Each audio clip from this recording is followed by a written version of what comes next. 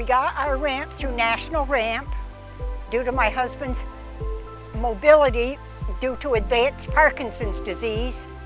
I wasn't able to get him out of the house safely. His mobility getting more limited, we needed the ramp.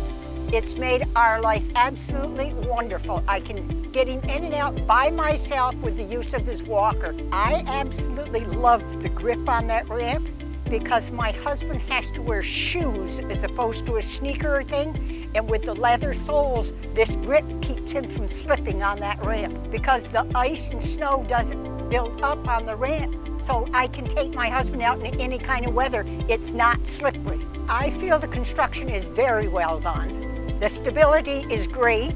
And I know for a fact that it's heavy duty like I wanted because I have a daughter and son-in-law and a grandson who's handicapped, and he weighs about 400 pounds, and he had absolutely no problem with that, and neither did the ramp. The way the National Ramp has helped me with my husband and my grandson, I don't have the fear of them falling when they come to visit me, or my husband's in and out of the house. The stability of that ramp, the grip that it has when they're walking on it, I feel so comfortable with it. I can't thank National Ramp for it. Thank you.